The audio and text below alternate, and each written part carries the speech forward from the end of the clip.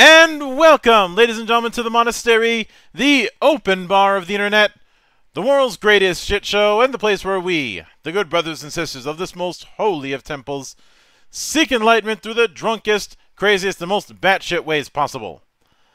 I am your one and only gaming monk, better known as Mildra,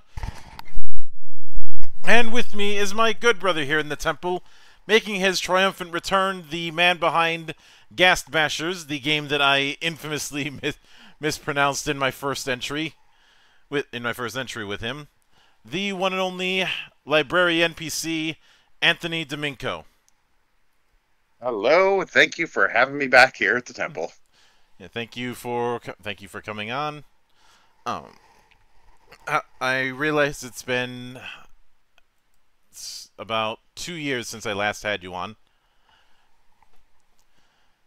Yeah, that's really been a very crazy two years. That's for sure. Mm-hmm. I mean, I've yet to see a I've yet to see a sane span of two years, but that's just me. Ah, that's that's not wrong. that's really not wrong, especially in the last five years. I rarely am on these kind of things, and yet people are always surprised by it. Yeah, well. And then and then they call me arrogant. Which it's not you're arrogant. right, you're right. it's not arrogance if it's true. You got a point there. But with that with that said, obviously the last time I had you on was for Ghast Bashers, and there's been a few uh, there's been a few other things in the interim, but you've made your triumphant return to Kickstarter with this latest project known as Weeaboomers. And since I did the humble beginnings the last time I had you on, let's instead shift into how this how this particular idea came about. So part of the idea was uh, another one of those random things that uh, spawned from other games I was already working on. And part of it was I was stuck in traffic for about two hours due to an overturned truck and had an idea. So, uh, so it's just chewing on the idea while I was driving uh, because I was mentally revisiting some of the projects that uh, occurred before I even finished Ghast Bashers. Uh, a lot of the systems of Ghast Bashers came about because of those previous projects. So I just kept chewing on the idea. And at the time, my uh, my commute for my job was anywhere from 30 to 60 minutes. So there was a lot of driving time to chew on the idea. And then I said to myself, well, why not uh, do that really bad Western approach to a slice of life anime and how we all live it? And then Weeaboomers was born. Mm-hmm. And for those who have not looked at the Kickstarter yet, Weeaboomers is your D12 powered comedy anime inspired role playing game based off of anime from the 80s, 90s, and early 2000s, and the anime fans that grew up with it, who are now currently dealing with wonderful things such as uh, moderate joint pain and depression. Mm-hmm. And the way the with the way you and with the way you ended up describing it, um, the the idea of of um you of you were never you were never like the protagonist given powers at a young age, but what if that were to happen now as as an adult? Exactly. Um, uh, so instead of uh, getting your magical girl transformation at 13, your talking animal showed up when you were 30 coming out of an HOA meeting. You didn't have five hot aliens living with you when you were 16. Instead, they literally crashed into your apartment when you're 42. You didn't unlock any cool key powers at 18. Instead, they came out during your yearly review at 50. Essentially, you got your anime call to adventure at a much later point in your life, but the problem is you still have to juggle all of your real world responsibilities. Mm-hmm. So you can't just say, I'm going to go be an anime protagonist now and go on an adventure because you still have to worry about your shift at uh, work the next day or, you know, your freelance gig or, you know, kids or, you know, HOAs and things like that. It's a very tongue in cheek dealing with uh, the life that we're all living and the the fantasy that we all wish we had when we were growing up. Mm-hmm. Now, this brings me to my first question because with everything that you said, that's a wide variety of genres and a lot of, and you, you're probably familiar with this just as much as I am. A lot of quote unquote anime RPGs tried to tackle a bunch of genres at once and ended up being downstream from a universalist RPG like God help you GURPS. yeah. Within so my ne- so my next question is how is how do you make sure that it that it doesn't fall into full um full universalist trying to and trying to deal with so many different genres? So this is where I get to do the twofold thing of um, breaking out that invincible meme of how do you do this, and then you know the answer is well you don't.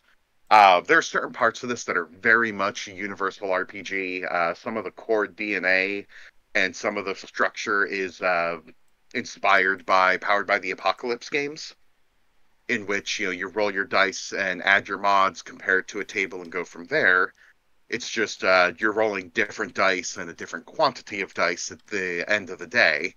Uh, you know, different table and so on and so forth. So, like, the core element technically is from a universal setting or universal system, but the rest of it is where the unique elements start coming in.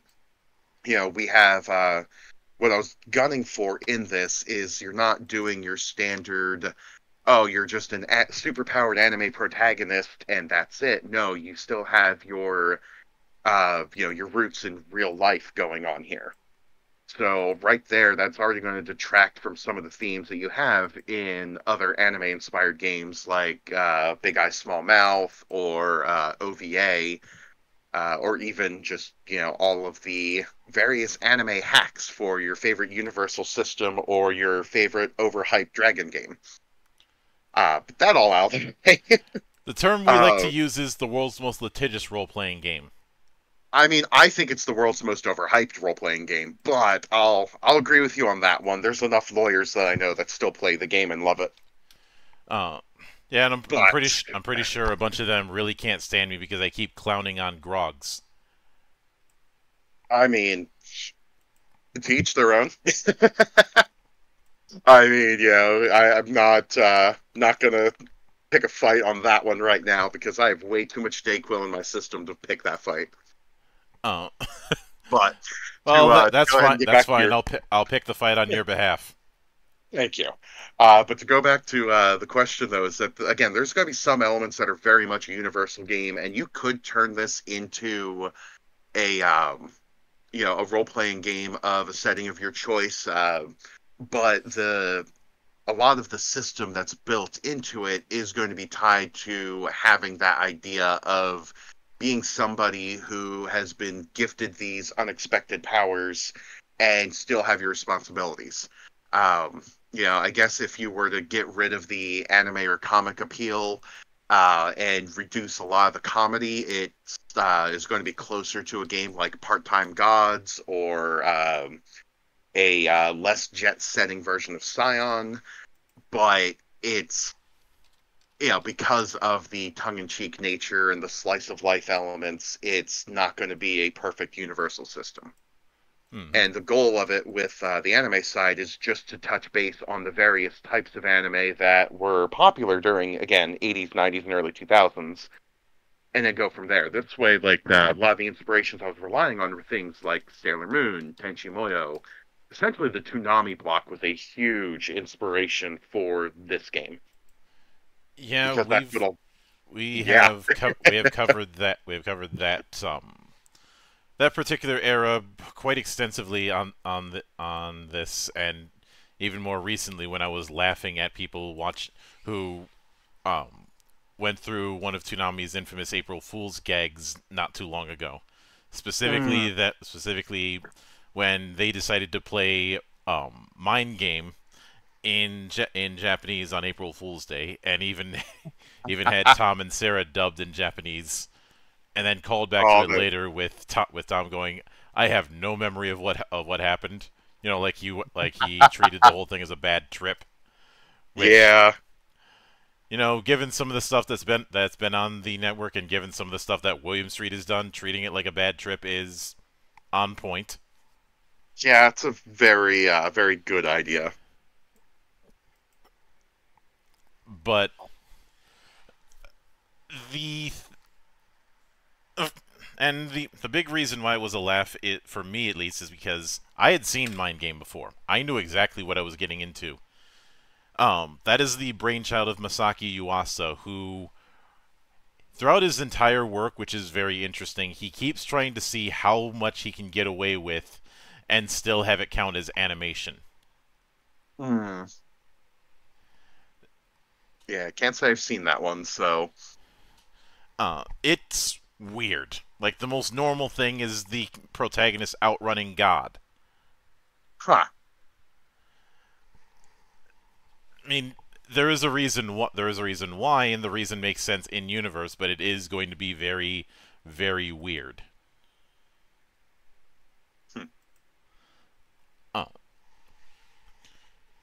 But with the, but even with all even with that in mind, the I think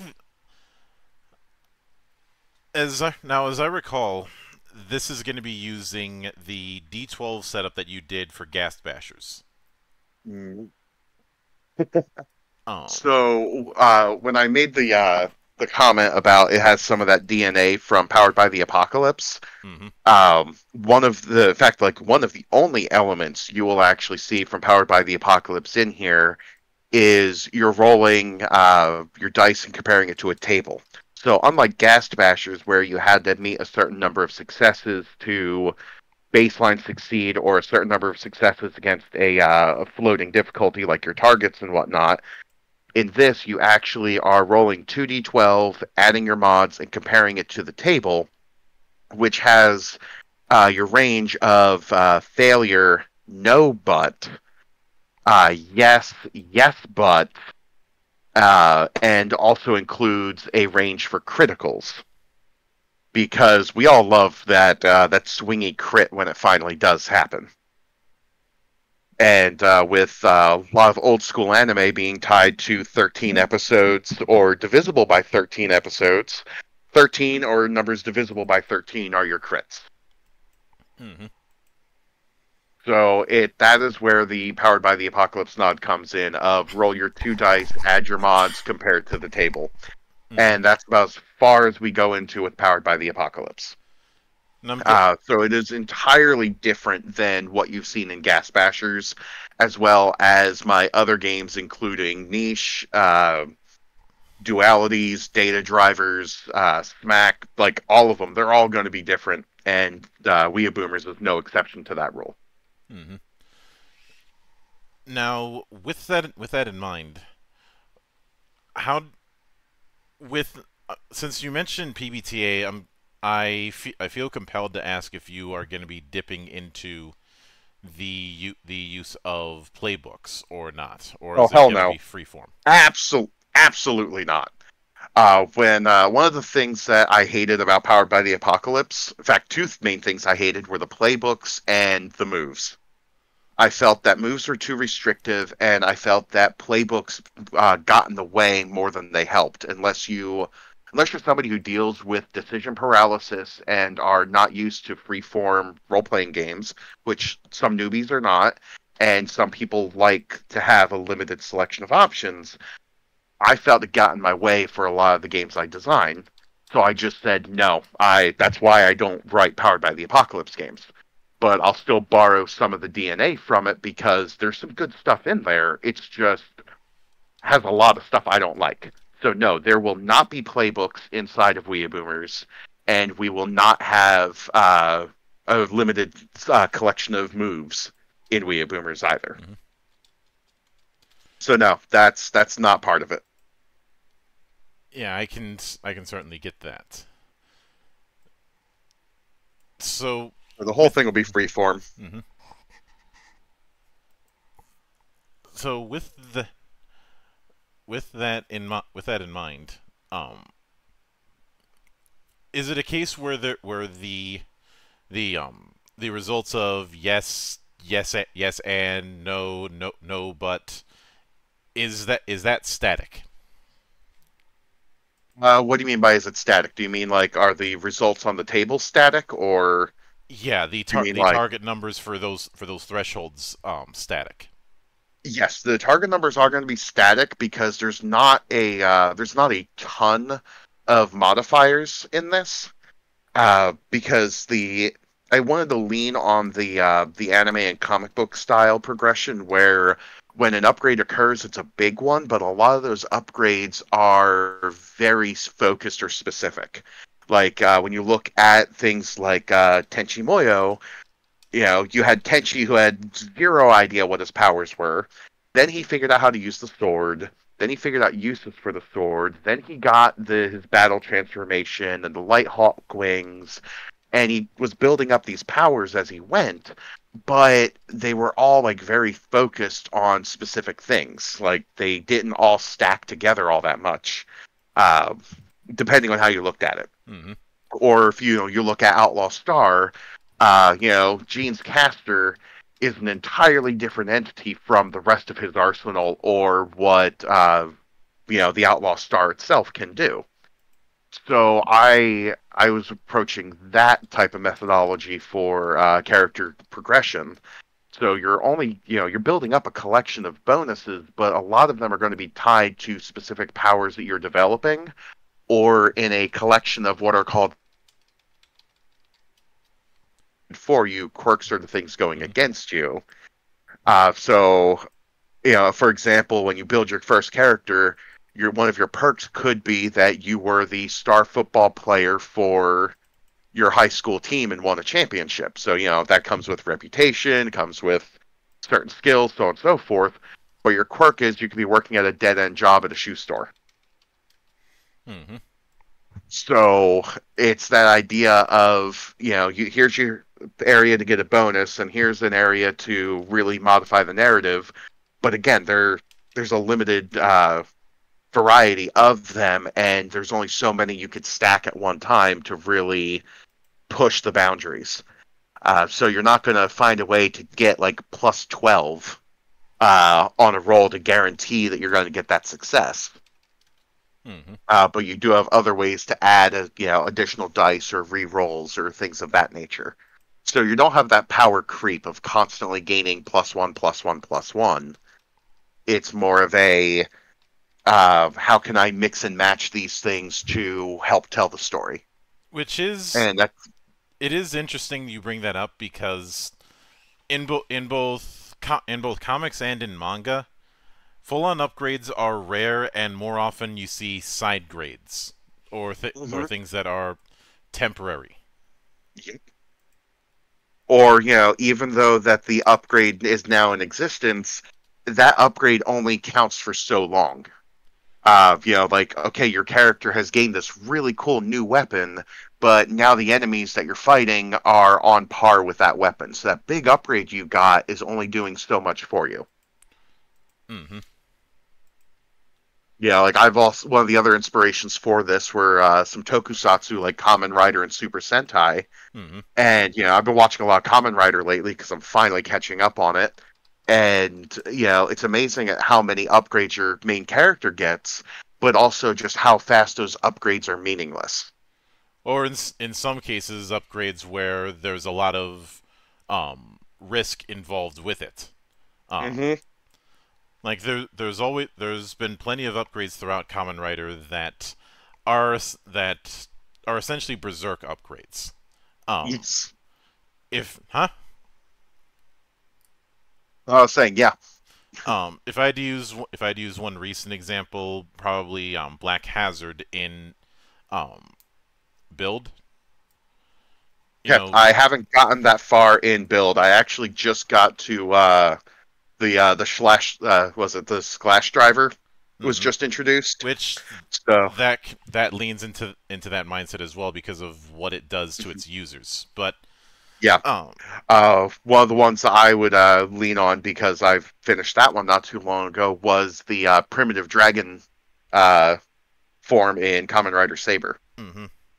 Uh, and usually that berserk only lasts a certain a certain amount of time, but I will I often bring up as a test um, the the limited time type of effects. One of the big ones that comes to mind is um, Accel in um, Faiz. Mm-hmm. You know, being able to move absurdly fast, but only for ten seconds. So let let me use that as a way to go ahead and uh, you know open a door on one of the other systems that's introduced in the game. That way you can get a better understanding of what's going on behind the scenes Mm-hmm. and how it can help differentiate between some of the other games that you and I are familiar with that we could do some of this with, but not to the degree we might want. So Mhm. when I uh, when I built the game, I really wanted it to be like my other games, easily accessible, quick to learn, and ideally something that you could pick up and run at a convention pretty quickly. And Weeaboomers thrives whenever I can go to a convention with a bunch of cosplayers, get them to sit down and play the you know play the game. And uh, you know, one of the uh, perfect examples here is I would sit down at a con, get the cosplayers at a table, and say, "Okay, let's build your character. You get three perks. Tell me three things about yourself that and your life that you really love.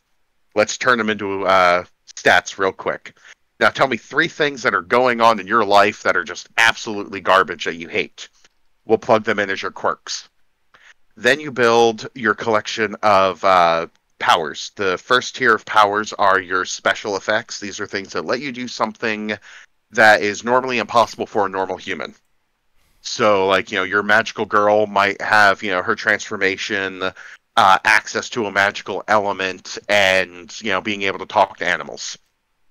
You know, simple, small things, but they really, like, shape the narrative. So the SFX are things that shape the narrative your secondary powers, which I'm blanking on the name right now because I've been I've been having a time because I'm type.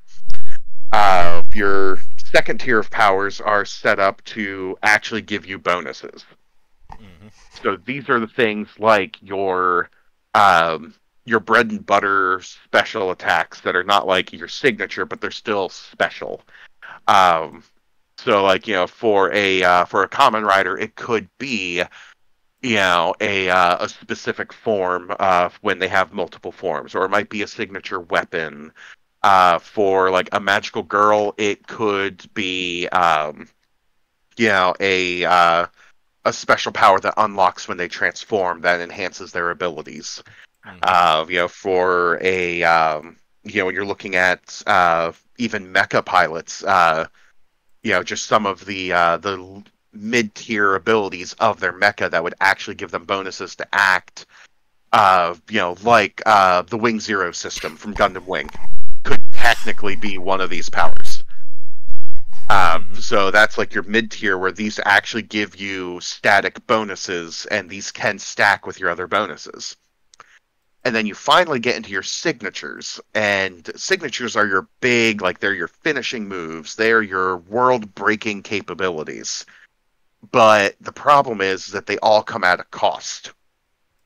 And uh, you know, like games like Fate or Cortex, there's of course going to be a uh, a point currency available to players, and they are accessed by your terrible failures, like your crit fail or your no but, uh, are you know how you would end up getting some of these uh, power points, for lack of a better term, and you use these uh, you know this currency to activate these powers, which essentially give you an extra D12 to your pool.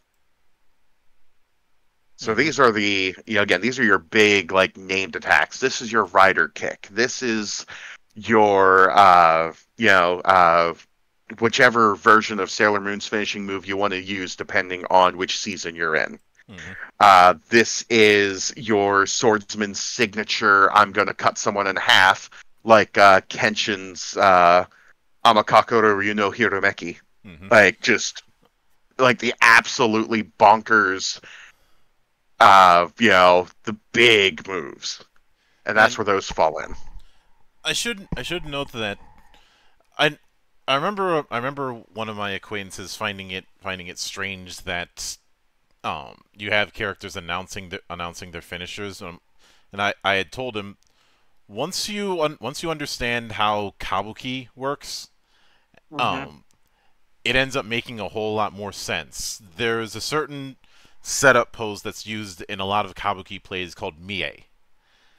And of course, it's also important to note that kabuki in a in a roundabout way is akin to professional wrestling. Um, you know, you have you have you've pro- you've probably seen the outfits that ka- that kabuki actors wear. There is nothing Mhm. subtle about it. If you want subtlety, no is over that way. Um, it is it is very it is very loud. It is very colorful. Um, you have you have crowds getting very into the whole thing.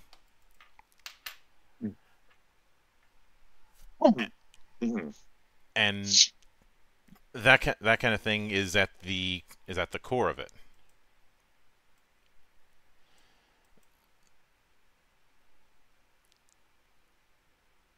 And Sorry. It's it's something that is something that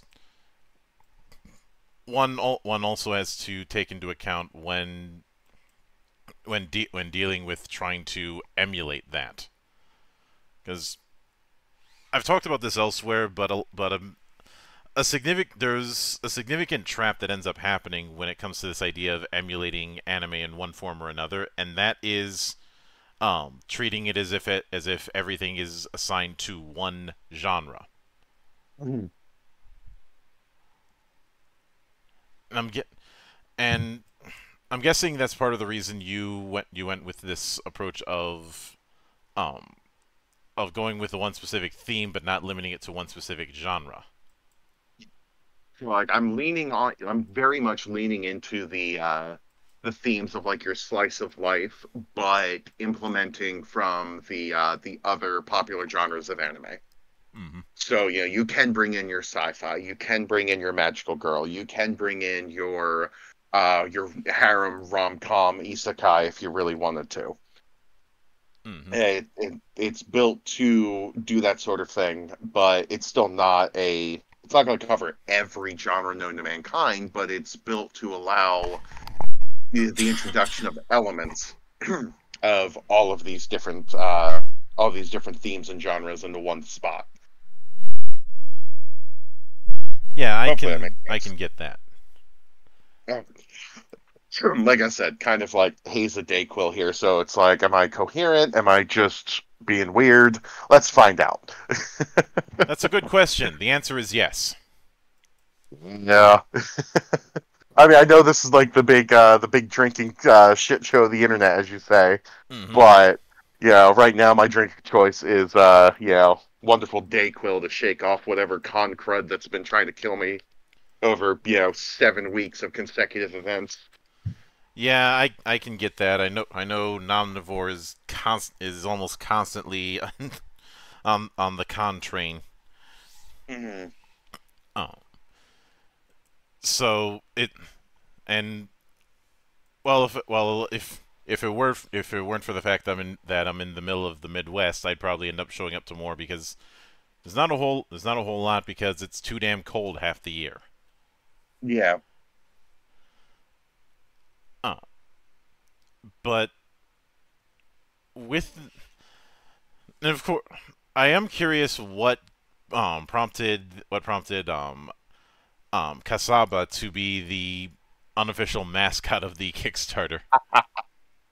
So, uh, I was working with uh, uh, with Ryan, one of the artists that uh, I've tapped for the project, and uh, I mentioned that I wanted a critter of some sort. I wanted to have our tongue-in-cheek version of a magical girl talking animal mascot. You know, because let's face it, you know, uh, cute animals or cute critters uh, tend to sell for uh, for certain anime. You know, like uh, every magical girl series had its critter, like you know Luna and Artemis and Sailor Moon. Uh, you had Mokona in Rayearth and uh, similar clamp titles. Uh, you even had uh, Kyubey in uh, Madoka Magica. To a point, Uh, yes. To a point, yes, but the point still stands. You see where I'm going here. hmm Uh, you know, and then you had other uh, characters like in Tenchi. Again, you had um, Ryo-Ohki. Yeah. So you know, and uh, like even Cowboy Bebop had Ein. Like, you know, you, you- critters, uh, critters definitely get the point across. Uh, so as we were kicking around ideas, uh, he mentioned the idea of a uh, Kasa Obake, uh, which is a uh, type of um, oh boy, the uh, type of yokai uh, Mhm. that is made from a uh, old discarded umbrella.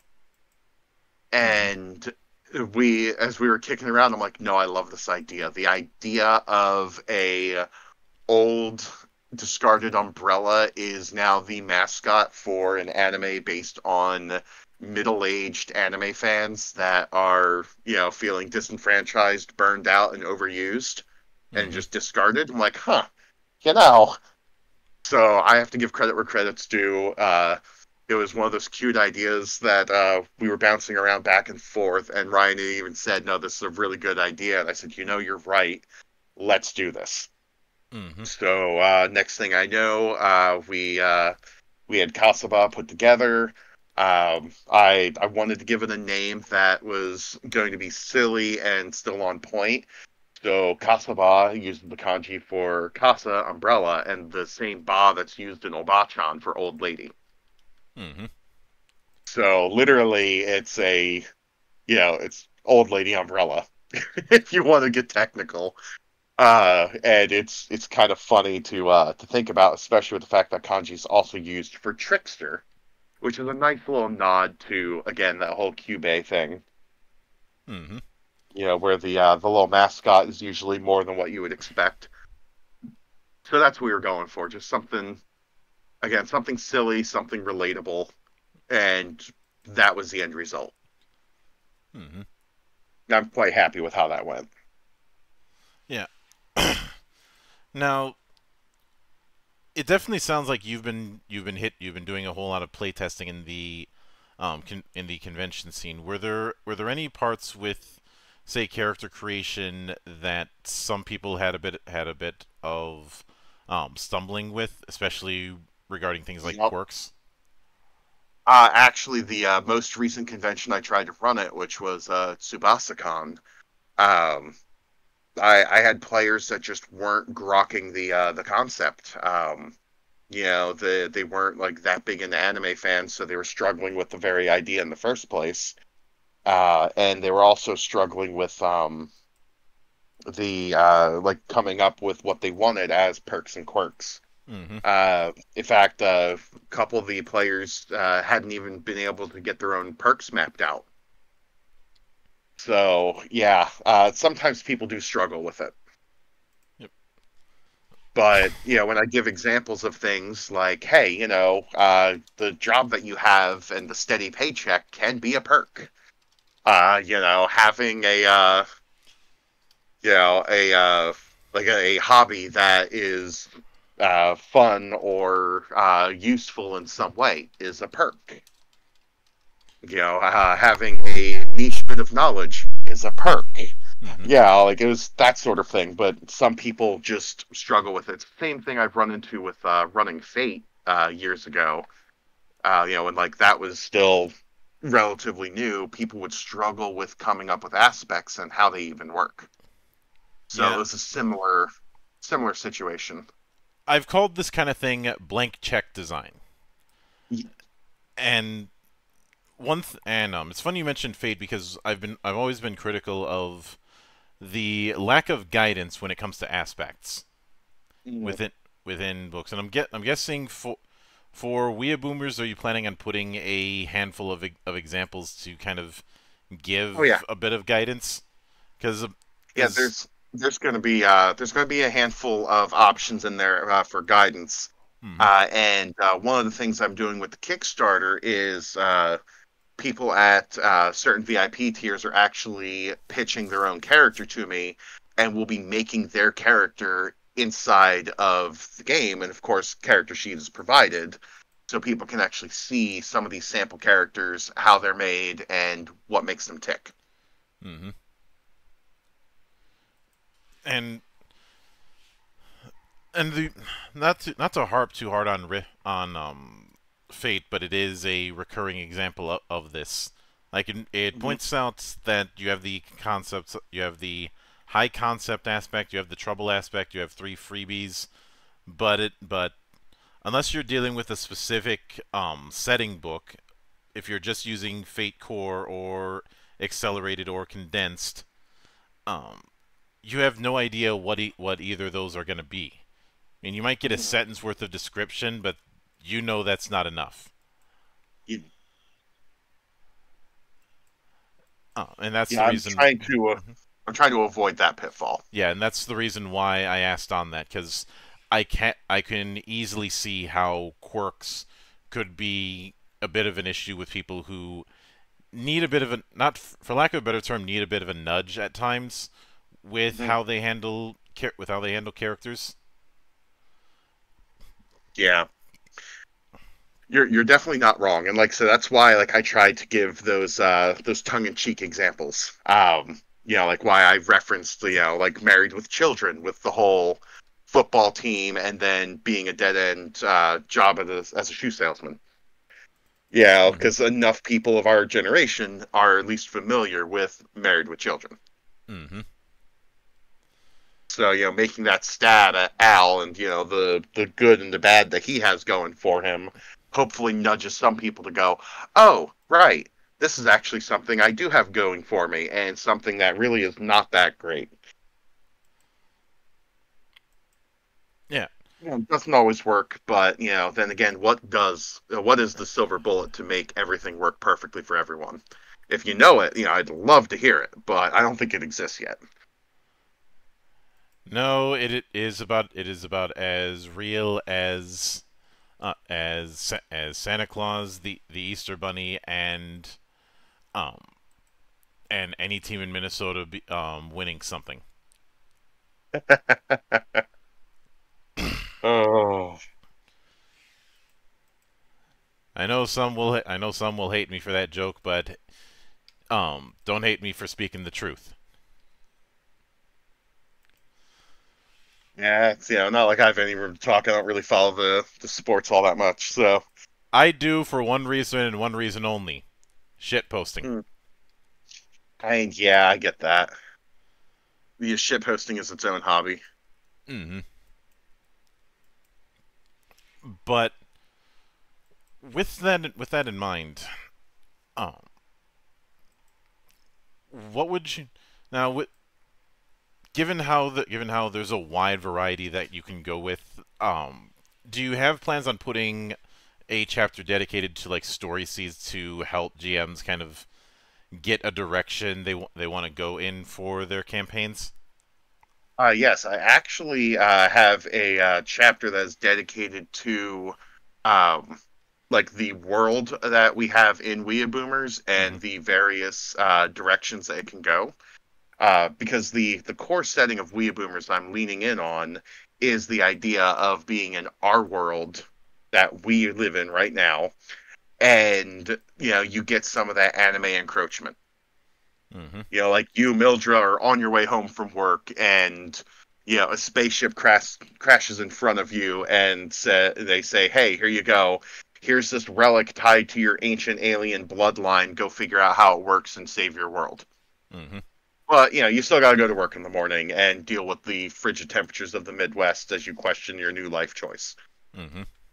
You know, um, yeah, and then just build up from that. So it's that sort of tongue in cheek. Okay, you know, you're literally in our world been gifted this, and some of the things that could happen and some of the directions that it can go, like you know, having uh, governments having an interest in people with these powers, like you would have in a comic book sort of situation.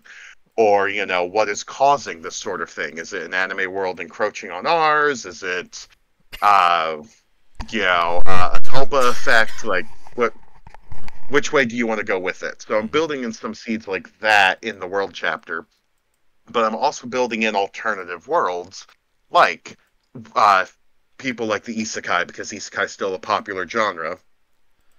You know, how how would you tie an isekai into this? Well, here's how you do it. Uh, you know, what about uh, what if I want to be in an anime world already? Well, guess what? You are, you know, the uh, the character with the mom haircut, and you now are, you know, your uh, your next EVA pilot. Congratulations. Mm-hmm. Yeah, things like that, where it's that very much unexpected. You know, you're instead of the typical teenage protagonist, it's now your adult that is thrown into those same situations, but already in an anime world. So I'm building in some of these things into the book. Um, and again, one of the uh, tiers for the Kickstarter is people can pitch their own world to me, so to speak. We get a uh, one of our artists on board to go ahead and draw up something specific to that type of flavor of world, and then I write a couple pages of notes for it to show how it works and how you can use it in your stories. Mm-hmm. So I should I should note as a bit of an aside. I get I got people some I got people pissed off at me something fierce because I said I had said that John Carter is the, is the original isekai. I don't know if I would say original isekai, but no, he's definitely up early on there. Uh, well, as, as far as far as a as far as a popular concepts, um, I would have I would have gone with Through the Looking Glass, but it's open to interpretation how much of that was actually her in another world and how much of that was her just having a really really really bad trip. I mean, yeah, you're you're not wrong on that one, but you know, you can also argue that things like um uh what was that? Let me actually gonna double check to make sure that I'm not like mixing things up because my again kind of like in a haze of things. Okay, yeah, you could technically argue that something like the time machine is an isekai. Yeah, and that like- is before that's before John Carter even. yeah. That's what I had to I like check. I like bring I like making this analogy with cla- with classic literature because a lot of people have this idea that isekai is th- is this brand spanking new genre when even if even if the name is new, the concept is not. It's been around for hundreds of years, Mm-hmm. Has been. and that's some that's something that I try and um try and ha- try and hammer home. But now, with that said, um, what are you shooting for as far as a page count? So my my current estimate, if yeah, once I get everything like converted, you you know, as we were discussing before, uh, yeah, before we started recording about how we can have a bunch of pages, but then once you do layout, it gets really dicey. Um, my goal is to have somewhere between the 150 180 page mark. Mm-hmm. and uh, yeah, that's after art, writing, uh, character sheets, notes, like the whole nine yards. Um, knowing my luck, like it'll probably be on the higher end of that, if not over it, because let's face it, Ghast Bashers was only going to be a uh, 80, 90 page book, and it left at 116. So, you know, because I just kept adding stuff that people wanted to see in it, even though I already had it written when I launched the Kickstarter, I just kept adding content people really wanted. So uh, this is no exception. Yeah, as people comment on things, I start rewriting certain elements of it, even though I it's not written the same way Ghast Bashers was. Like I don't have the whole thing written as a text, and I'm just doing layout. I have piles of the uh, the notes I'm just compiling into just like the new layout as I go. But you know, things come up and I keep adding more. And for all I know, I'll probably be pushing 200 pages by the end of it because that's how I roll. but my goal is to be in that, you know, that accessible 150 range. Expect probably closer to 180, knowing me. Mm-hmm. And I will I will certainly be keeping a close eye on how it develops. But with that said, I do want to sincerely thank you for taking the time out of your schedule and coming all the way to my temple to and enjoy the madness that happens here. Oh no, I appreciate you, uh, you know, inviting me back again, even though it's been a couple years and erratic communication over the last couple years. Mm-hmm. and you know it's always nice being back at the temple. You know, sadly I can't raise the uh, the usual drink, but you know you can do so in I- spirit. Yeah, well, I'd like to think I'm a little bit inebriated in a different variety this time. Mhm. yeah, and anytime But hey, if we can't laugh about it, Anytime you see fit to return, the door is always open. As I often say around here, drinking is not mandatory, but it is encouraged. well, again, always happy to be back and looking forward to the next visit. hmm And of course, a sincere thanks goes out to everyone who took the time out of their schedule to come onto the show and enjoy the madness. And there will be plenty more where that came from, as there always is here on the open bar of the internet. But until then, on behalf of the good brothers present and not present, my name is Mildra. I am your gaming monk. Stay fucking frosty, everybody.